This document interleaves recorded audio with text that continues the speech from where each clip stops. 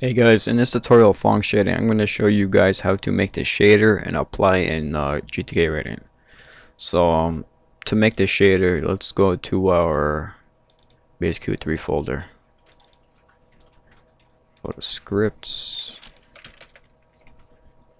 I'll go to my shader that I'm using now. Um, so what I'm highlighted here is the basic uh, shader format for Phong shading.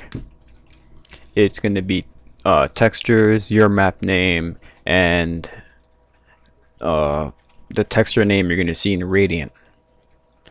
Then uh, just basically copy and paste what I have here or use the shader from the PK3 when the map will be done.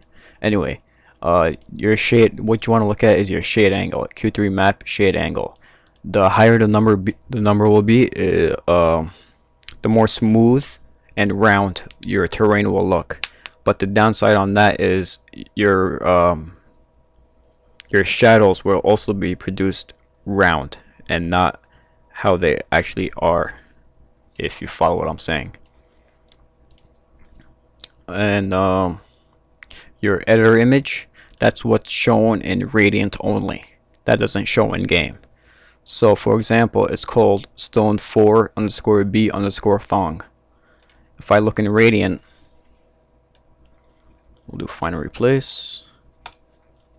That texture right there, that says Phong shader on it, which is, I'll show you where it is, textures, ghost, pornstar 2, as you can see that's it right there.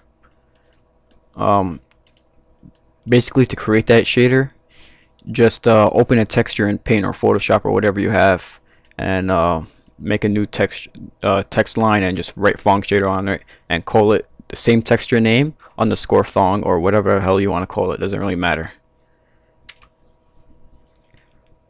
Uh, so and then you save it into your uh, map name folder or your your own custom folder whatever folder you want to save in I, I don't really doesn't really matter. It's up to you but I like to stay organized and keep in my uh, map name folder. So once you got that written down your editor image is going to be that what you're going to see in Radiant which is this texture here or this texture here it basically says Phong shader on it. The main purpose of this is so you won't get safe uh, perfect example here. Let me scroll back. As you can see I'm using the same two textures but they're actually two different textures because this is terrain right here and this is a regular floor brush right here. Let me just pull this back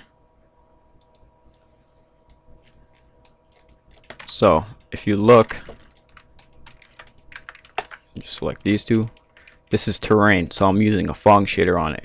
But the rest over here is a flat surface, so I'm just going to use a regular my regular texture brush. So that's the difference of uh, the Phong shader. Uh, the purpose of using QER editor image. So uh, it, it's useful so you don't get confused between which texture which one you're using at which point just so you know.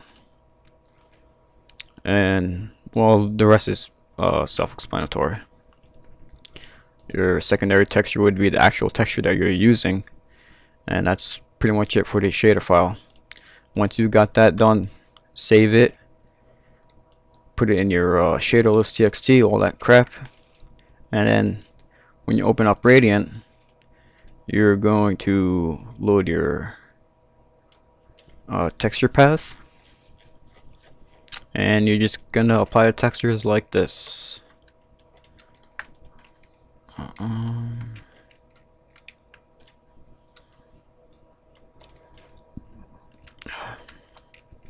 you're gonna hold control shift left click. So you select the face only.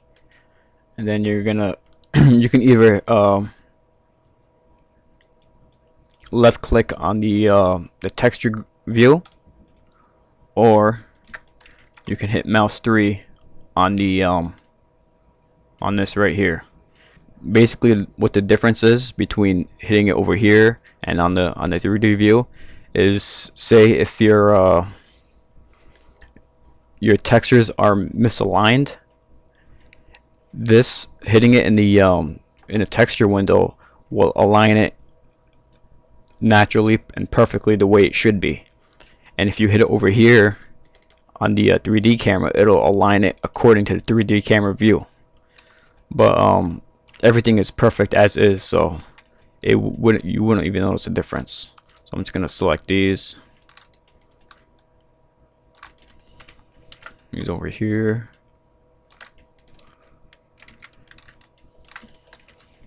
You want to select every visible face. Even if it's a small little dot in a little corner, you want to select that as well.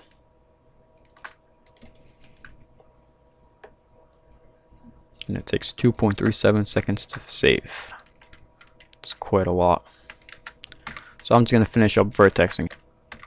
Now right here, I'm going to cut this open. Oops. Let's go like this. Now I'm going to have this part right here showing the sky.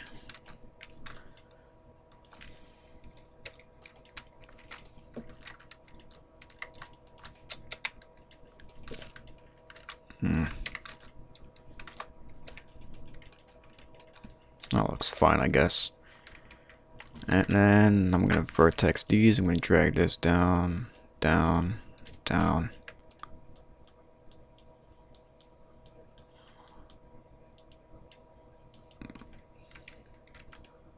pull that down. Don't want to pull it too down, especially where I am at right now because it's very low ceiling, so the player might hit it. So I might have to go back and fix that later on.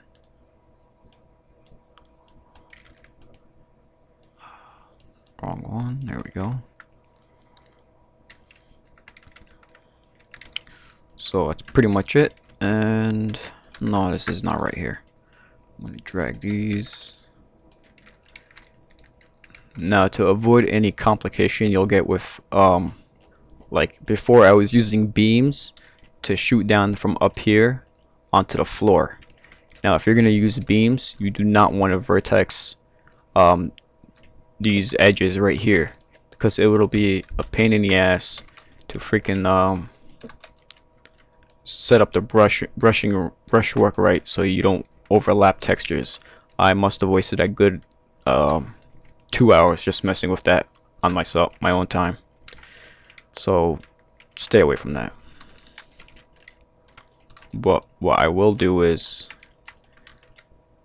even these textures out, brushes out, so it's leveled.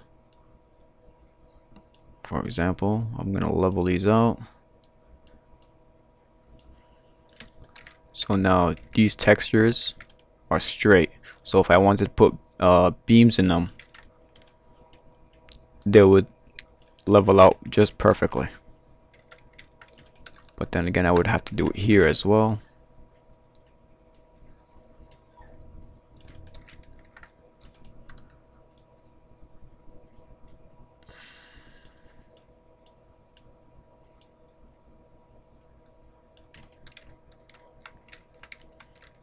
And as you can see, it loses its um, its creativity because now it just looks plain flat wall, flat ceiling. So I'm probably not going to add beams anyway because that's a freaking pain in the ass. I don't want to deal with that again. So I'm just going to make these nice and bumpy. That looks fine. I don't really care anymore. Be honest, I just want to get this map done with. And as you can see, the textures aren't lining up anymore. Oh, well, that's why it's not lining up anymore.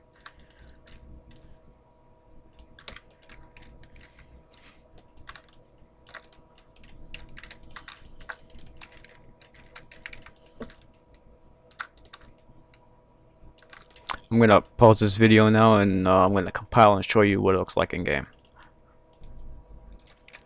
And this is the outcome. It's a bit dark, so bear with me. But this is what it looks like. Let me show you other parts of the map.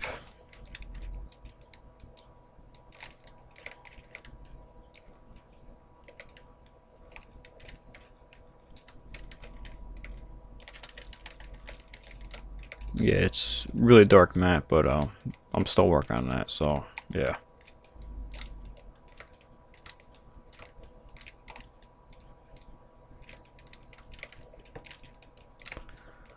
And that's it. So, peace.